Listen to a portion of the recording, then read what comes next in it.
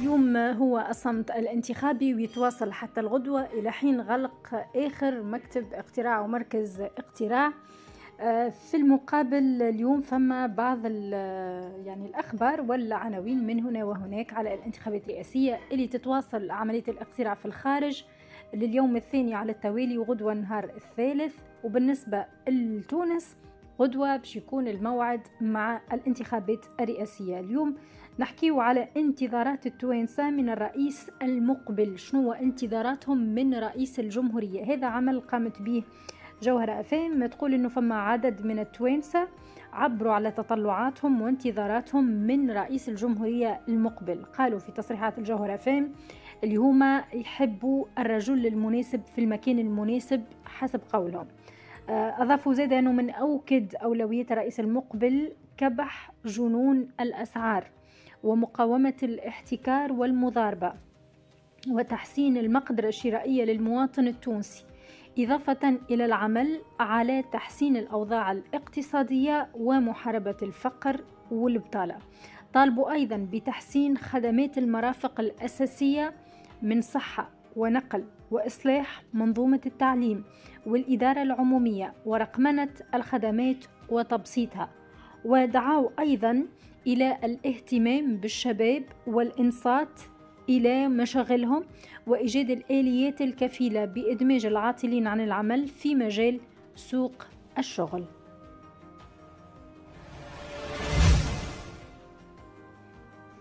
في هذا الخصوص نرجع على صلاحيات رئيس الجمهورية يعني منصب رئيس الجمهورية التونسية حسب دستور جويليا 2022 آه، دونك عدة فصول آه، من دستور جويليا 2022 تحدد صلاحيات رئيس الجمهورية اللي يترأس حسب الفصل 87 الوظيفة التنفيذية بمساعدة رئيس حكومة. يضبط حسب الفصل 100 السياسة العامة للدولة ويحدد اختياراتها الأساسية ويعلم بها مجلس نواب الشعب والمجلس الوطني للجهات والأقاليم. ويسند له الفصل 101 صلاحية تعيين رئيس الحكومة وبقية أعضاء الحكومة باقتراح من رئيسها. كما ينهي رئيس الجمهورية حسب الفصل 102 مهام الحكومة أو عضو منها تلقائيا أو باقتراح من رئيس الحكومة. الفصل 91 من الدستور. آه، يقدم رئيس الجمهورية بأنه الضامن لاستقلال الوطن وسلامة ترابه والاحترام الدستور والقانون ولتنفيذ المعاهدات وهو الذي يسهر على السير العادي للسلطة العمومية ويضمن استمرارية الدولة ويترأس مجلس الأمن القومي.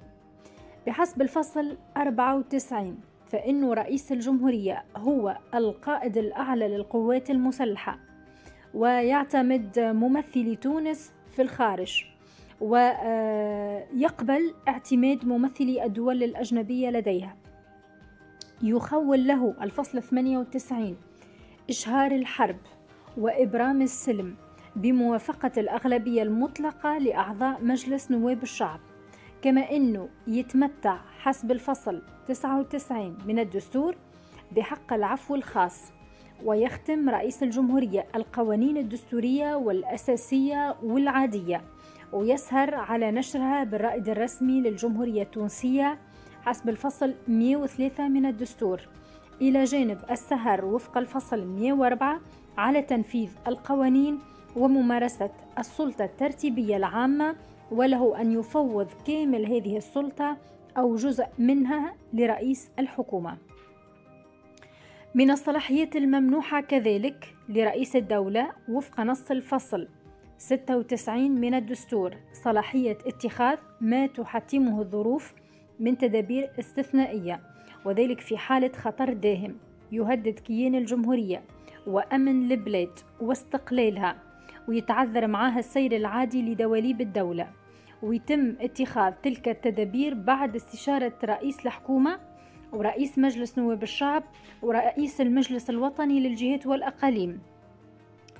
كما يمنح الفصل 97 لرئيس الجمهورية صلاحية أنه آه، يعرض على الاستفتاء أي مشروع قانون يتعلق بتنظيم السلطة العمومية أو يرمي إلى المصادقة على معاهدة يمكن أن يكون لها تأثير على سير المؤسسات دون أن يكون كل ذلك مخالف للدستور.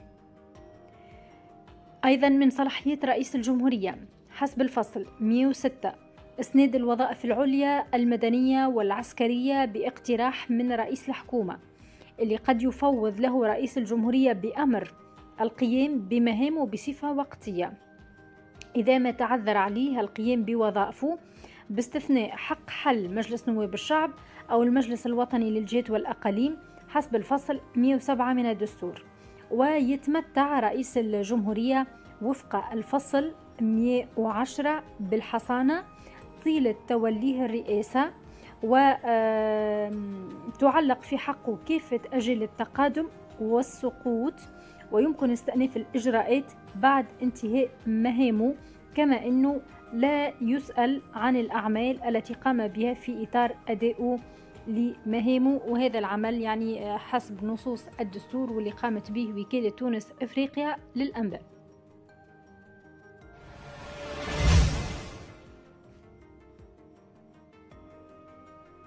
في الكيف تركيز عشرة خيام للناخبين في المناطق التي لا توجد بهم مدارس حيث انطلقت اليوم الصباح عملية توزيع المواد الانتخابية انطلاقا من المخزن الجهوي للهيئة الفرعية المستقلة للانتخابات بالكيف نحو مراكز الاقتراع بتأمين من المؤسستين الأمنية والعسكرية.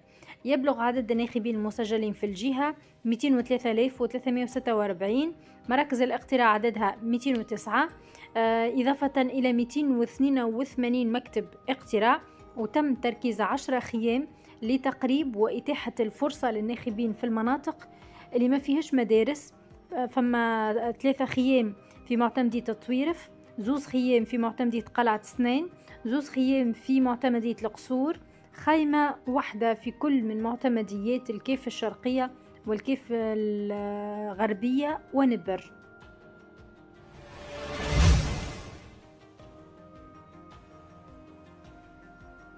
في سوسة إحالة مخالفات انتخابية على النيابة العمومية حيث قالت المكلفة بالشؤون القانونية في الهيئة الفرعية للانتخابات بسوسة ريم محجوب قالت إنه عملية توزيع المواد الانتخابية على مراكز الاقتراع. عددها في سوسة 193 مركز اقتراع و516 مكتب اقتراع. المركز هو المدرسة والمكاتب هما الأقسام اللي في وسطها المخصصين للانتخابات. أه تقول قد شرفت على الانتهاء.